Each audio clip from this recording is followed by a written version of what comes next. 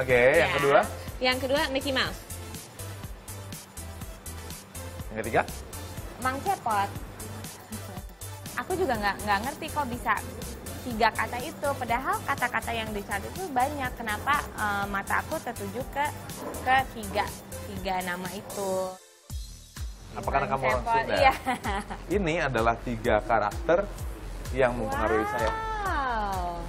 Mang Cepot itu Ini, hilarious. Emang lucu Tiga banget karakter ini yang mempengaruhi uh, Your my childhood. Oh, Memang benar. iya, iya. exactly, and you guessed it right gitu. That's crazy. Hmm, Mungkin nggak percaya. Kalau di awal tadi kan saya nebak Iya. uh, Rianti My, di future-nya future. apa sih proyeksinya?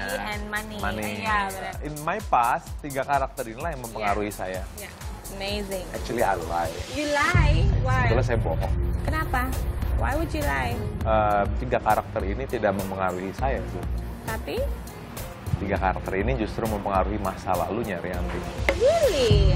Terus kata Mas Romi, itu sebetulnya nggak berhubungan sama masa lalu dia, tapi berhubungan dengan masa lalu aku. Terus kok bisa sih? Dan ini adalah timeline dari kehidupannya Rianti, Oh, including your past. Mickey Mouse? Pikachu and And really? Wow. nggak percaya. Enggak, nggak percaya. Di era digital sekarang, Mm-mm. Orang membuat diary bukan lagi ditulis kok. Yes, on social media. Ya, Dan ini adalah masa lalunya Rianti. oke. ada foto Instagram aku, jadi ada satu foto eh, suamiku lagi pakai kayak eh, topi Pikachu.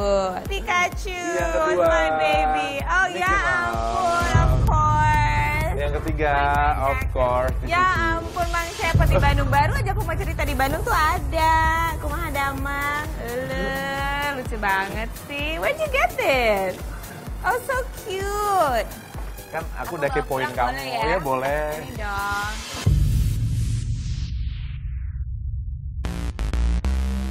Bagaimana saya dapat memperkirakan apa kata-kata yang dipilih oleh Rianti tadi?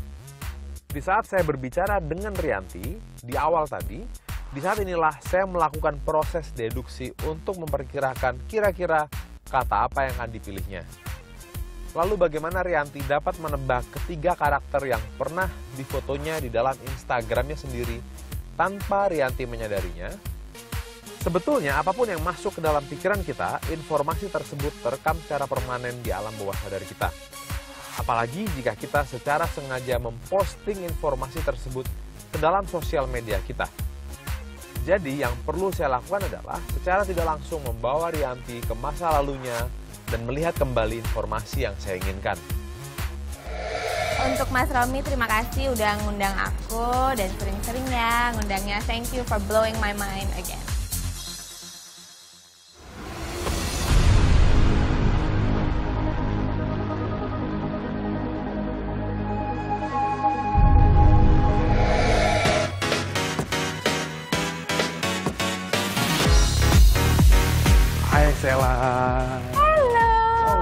Separuh ya. Iya. Berarti nunggunya udah lumayan lama. Maaf kalau nunggu gar- kalau begitu. Eh, Sela sibuk apa sekarang? Sibuk. Selain menjadi seorang Ibu.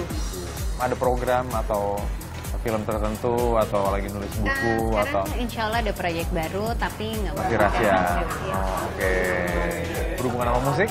Enggak, pengen dong tapi mau duet Berarti- bareng. Nah, dalam waktu mengisi kekosongan kamu Yes. ngapain? Eh, baca buku, baca artikel, nyanyi, nulis lagu, main sama anak. Kalau misalnya di antara syuting, di antara scene mungkin Eh, baca buku, sama ya. Yes. Anak diajak nggak kalau di tempat syuting? enggak sama sekali nggak pernah. Pengalaman menarik. Pada saat Ya, peran syuting yang menarik sejauh ini sebenarnya semuanya menarik, tapi belum ada yang menantang. Itu sesuatu yang sulit untuk aku mainkan yang nggak Oke. biasa. Jadi antagonis? Ah, terlalu sering. Terlalu sering ya? Mungkin kamu cocoknya itu kali ya? Eh, Malah pengennya mainnya jadi baik-baik. Main game? Enggak, Catur, enggak. tic-tac-toe. Aku sangat cupu dalam pergaman. Pernah dengar game namanya tic-tac-toe? No. Oke, eh, bayangin Sheila lagi break Oke. atau menunggu di sela-sela syuting ya. Yes. Oke, eh, kita main tic-tac-toe. Oke. Tahu post-it note Yes. ya, saya kasih kamu pilihan. Oke. Em, saya merah sama yang biru. Oke. Tiktak tuh seperti ini. Ini saya buat kolom ya. Oke. Saya lingkaran. Mau mulai dulu, kamu X. Yang mau mulai dulu, saya apa kamu? Aku. Taruh X-nya di mananya. Nah, tugas saya adalah biar kamu nggak bisa Menaruh X. tiga begini atau tiga menyamping atau tiga menyamping. Iya. Jadi aku harus saya harus menghalangi gerakannya kamu. Saya buat di sini. Nah, berarti di sini kemungkinannya kan biar kamu nggak menang, ya. Tapi saya bisa ke sini. Tapi saya menang. Iya betul. Pas dia ngajarin itu tuh sebenarnya itu sebuah permainan yang sangat simpel tapi nggak tahu kenapa karena mainnya sama dia jadi deg-degan banget. Tahu permainannya ya? Oke. Jadi jangan buru-buru mengambil tindakan. Lagi, coba lagi. Kita coba lagi.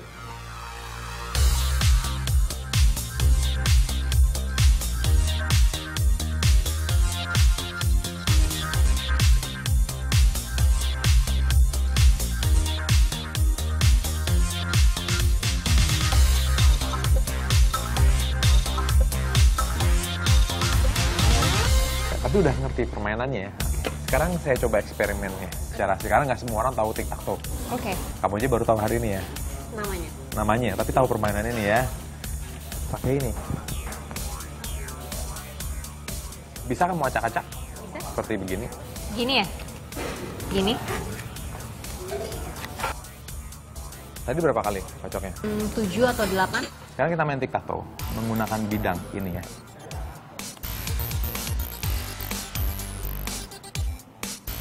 Sama seperti tadi, nggak perlu pakai yang hitam. Yang mau mulai aku dulu atau kamu? Gimana ya? Usahakan serapi mungkin ya. Oke. Oke.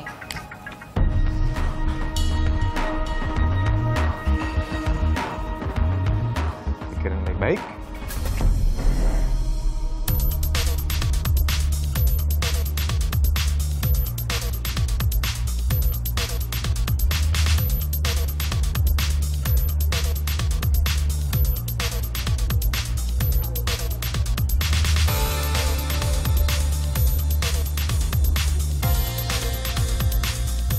Aku baca. Mendingan give up. Jangan, jangan give up dong. Ah, aku baca lagi. Kamu pura-pura ya? Enggak, nggak pura-pura. Ya mau nggak mau dong, saya... Berarti hasilnya Seri. nggak ada yang menang, nggak ada yang kalah ya? Iya. Ada tiga kemungkinan kan dari eksperimen ini. Saya menang, saya kalah, kita seri.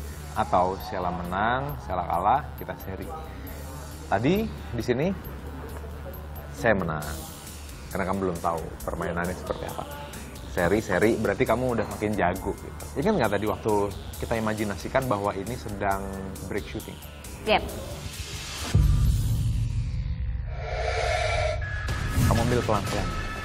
Masukin tangan. Maaf ya. Tapi jangan dilihat ya, Iya. ditarik.